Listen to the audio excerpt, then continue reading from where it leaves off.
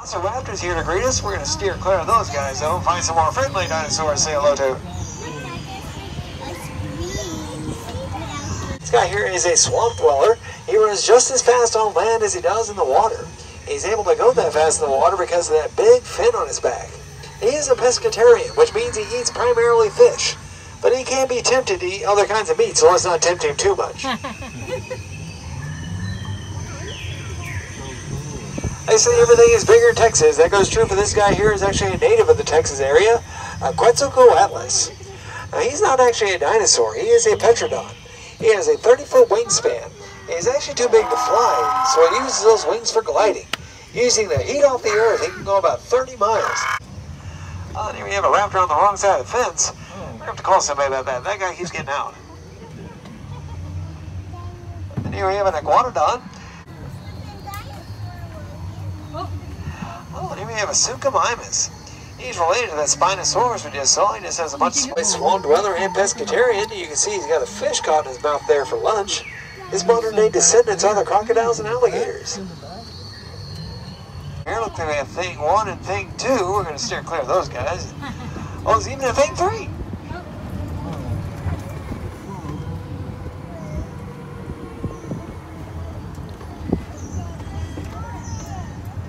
Well, here we have a family of Stegosauruses. You see the baby up there on the... These guys get up to about 6,000 pounds, and they get that large just eating vegetation alone, which is pretty impressive considering they didn't have ranch dressing back then. They have those big scales on their back called scutes. They have the same consistency as turtle shells. They have spikes on their tail. They can whip that tail into their face to protect themselves from predators. Such as this Allosaurus right here. He is a cousin to the T-Rex. He has a couple of differences though. This guy here has about 70 serrated teeth that are all curved backwards to help keep his prey in. And whereas the T-Rex only has two fingers on each hand, this guy has three, with nine inch nails on each one, which also coincidentally is his favorite band.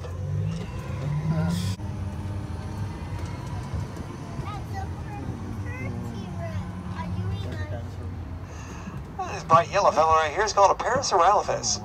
He has a crest on his head he uses for calling its mate and regulating heat. Scientists actually believe he's covered in bioluminescence, so they actually think he can glow in the dark. So it's not bad enough he's bright yellow, he really got the short end of the stick when it comes to playing hide and seek at night.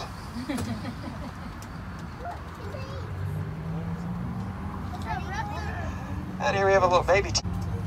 Might drive a black Ford Mustang here today, you, you might have a little trouble getting home. These, these Raptors are terrible auto mechanics. They're really good at wrecking our research station, though. My goodness, look at this carnage. Now, these raptors are like wolves in that they're pack hunters, but they're more closely related to birds. They have a hollow skeleton, but not hollow like a straw, more like a honeycomb, making them extremely agile. They can reach up to speeds of 40 miles per hour, which is faster than this tram could go, so we should probably get a bit of a head start on them.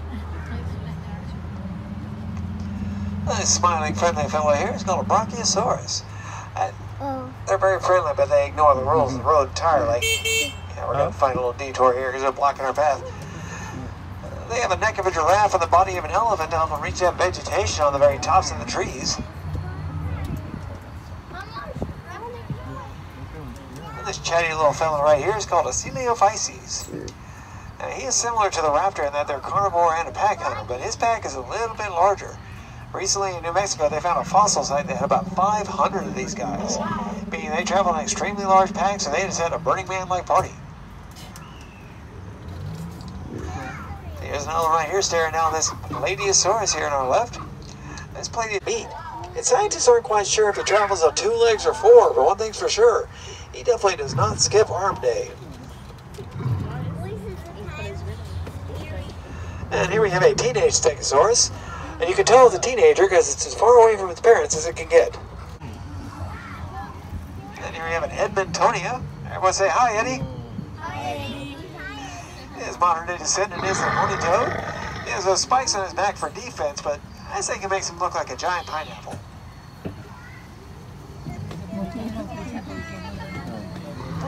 This little mutated ostrich right here is called a Citipati. I swear I'm not making up these names. The Citipati is protecting its nest here against this troodon. Oh, looks like we have some troodons on our left here as well. Now, these guys are actually nocturnal, so I'm not sure what they're doing up during the day unless somebody snuck in and gave them some coffee. But they're considered nest raiders, and they will infiltrate other species' nests and replace the eggs with their own, getting some very cheap babysitting that way. Uh, and here on the left and the right here, looks like we have some compies.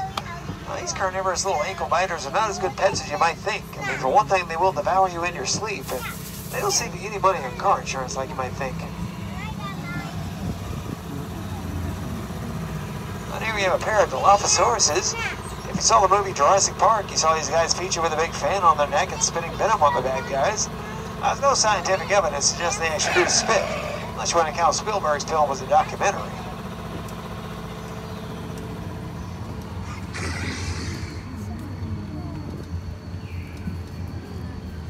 Now entering our family area.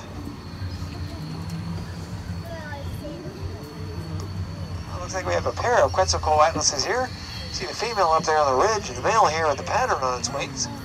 Now he has that pattern on its wings to attract a mate because they sure they get it right. And they have a nest over here with some eggs in it. But there's also some smaller eggs in there too, which makes me think the troodons are got to some of them. And here we have a Diabloceratops and his babies.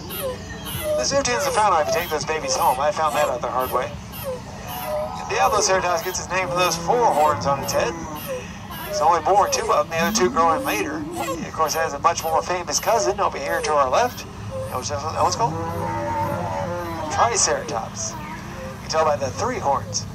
Uh, he has about 300 teeth over the span. Uh, speaking of predators, this guy here is probably the most well-known predator of all of them, the Tyrannosaurus rex. They get up to about 50 feet long, about 15,000 pounds, about 12,000 pounds of bite force. That's the equivalent they get set on by an elephant. Now, they're actually too heavy to sit on their own eggs, so they just grab mud or whatever else available to incubate those eggs for them. When they get ready to hatch, they come popping out like angry potatoes and teeth.